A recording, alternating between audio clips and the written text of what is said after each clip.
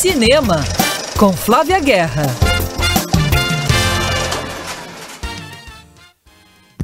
Que está em Madrid acompanhando um festival e deixou um material bem bacana pra gente. Fala, Flávia. Olá, todo mundo. Vamos às dicas de cinema dessa semana e duas opções bem diferentes, mas eu acho que assim complementares. Começando por um festival de cinema. Eu sempre gosto de destacar os festivais, principalmente os que ainda estão acontecendo de forma online. Por conta da pandemia, sim, infelizmente a gente ainda está durante a pandemia, muitos eventos presenciais ainda não estão acontecendo, mas o lado bom é que os festivais acontecem nas suas cidades e vão para o Brasil inteiro. E eu acho que esse modelo híbrido vai continuar o ano que vem. Um pouquinho pessoalmente, né, presencial e um pouquinho online.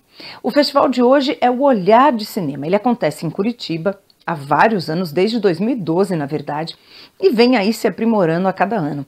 E o Olhar, para ser redundante aqui, lança esse olhar sobre o cinema que traz novas formas de contar histórias, assim. Tem das formas assim mais convencionais, né, aquelas histórias que a gente curte, mas a temática em geral é diferente. Ou a temática é uma temática mais clássica, clássica e a forma de contar é original. Enfim, é sempre uma seleção bem cuidada. Eu adoro esse festival. E eu trago dois filmes nacionais, porque vocês sabem que eu amo cinema nacional, que é pra gente assim ficar de olho.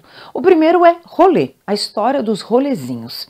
O nome já diz muito, né? O filme é um documentário que parte aí desde o início desse movimento tão polêmico, né, da sociedade brasileira, até os personagens. A gente vai conhecendo melhor quem são essas pessoas que faziam os rolezinhos, o que as motivou e por, por, nas entrelinhas de tudo isso, a gente entende muito do nosso tecido social, das dinâmicas racistas, classistas e excludentes que a sociedade brasileira tem até hoje. Então é um filme para a gente conhecer melhor. Eu gosto de documentários que trabalham bem seus, seus personagens, porque é isso que a gente curte, né?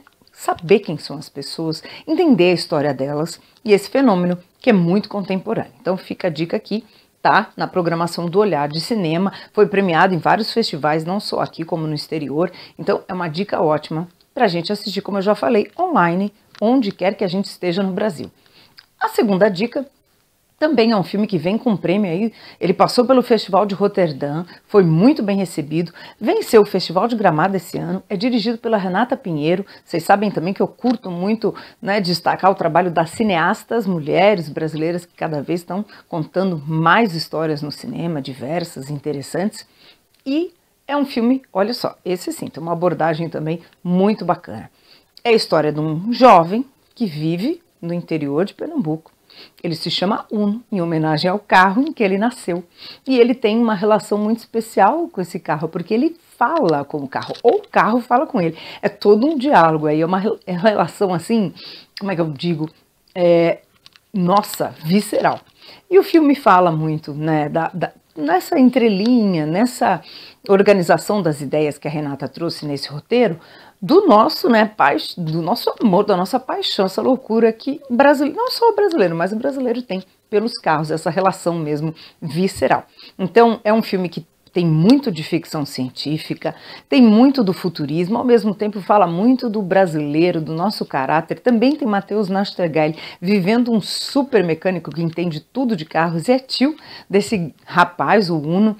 Enfim, também é um filme para tirar a gente assim, ó, daquele lugar de, ai, sempre vejo a mesma coisa. Você vai ver alguma coisa muito diferente. Carro Rei é o nome desse filme, não esqueçam, anotem aí. Carro Rei. Para assistir a esses dois filmes e tantos outros que estão na programação do Festival Olhar de Cinema, você entra lá na internet www.olhardecinema.com.br. Entra lá, confira a programação e depois conta tudo pra gente sobre os filmes né, mais interessantes desse festival. Segundo filme, estreou nos cinemas, é dirigido pelo Sérgio Rezende, esse é o segundo destaque de hoje. É um longa que se chama O Jardim Secreto de Mariana, com a Andréa Horta, que eu adoro, Gustavo Vaz, que faz seu primeiro grande protagonista no cinema. Eles são um casal que vivem no interior de Minas Gerais. O filme foi rodado em Brumadinho e também em Inhotim, então tem paisagens deslumbrantes. Ela é uma botânica especializada em reprodução e reprodução das flores. Ela estuda as flores. Ele é um economista, eles vivem num lugar lindo, estão desenvolvendo uma produção de orgânicos, estão com uma vida assim idílica, até que eles tentam ter um filho e não conseguem.